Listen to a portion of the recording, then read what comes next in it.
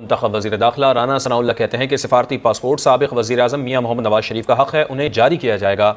ऐवान सदर में सहाफ़ियों से गैर रस्मी गुफ्तु में कहा कि इमरान खान को गिरफ़्तार नहीं किया जाएगा, कोई इंतकामी कार्रवाई नहीं होगी। बोले, अगर इमरान खान के खिलाफ बदनवानी का केस आया तो पहले तहकीक़ात की जाएँगी। तफसीत जान लेते हैं समग्र नुमाइंदे उस्मान खान से।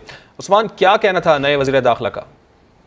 जी बिल्कुल लिखी जाने से ये भी कहा गया है कि वजी अजम की हिदायत पर इमरान खान को फुल प्रूफ सिक्योरिटी फराम कर दी गई है। इमरान खान की ज़िंदगी खतर के हवाले से उनका कहना था कि हमारे पास कोई इंटेलिजेंस इतलात नहीं है। रावलपिंडी रिंग रोड प्रोजेक्ट में अरबों रुपए की कपड़ों की इतलात मिली है। इस पर तहकीकत कराने का उन्होंने ऐलान किया है उनका कहना था कि दहशतगर्दी की नई लहर से निपटने के लिए तवील मुद्दती और मुख्तर मुद्दती पॉलिसियाँ वजह की जाएँगी। सोशल मीडिया पर पाबंदियाँ नहीं लगाएँगे, बल्कि उसे रेगुलेट किया जाएगा। इन्फॉर्मेशन और इजहार राय के लिए सोशल मीडिया बेहतरीन प्लेटफॉर्म है। उनका कहना था कि मुझ मनशियात के झूठे मुकदमा बनाए गए, उनकी तहकीकत की जाएँगी और इमरान खान के हालिया बयान से ज़ाहिर होता है कि वो मौकफ बदलने में तेज है। सफारती पासपोर्ट सबक वजी नवाज़ शरीफ का हक है और उन्हें जारी किया जाएगा। अफसोस का मुकाम है कि तीन मरतबा वजी रहने वाले शख्स को मुल्क की शरीय से महरूम किया जा रहा है।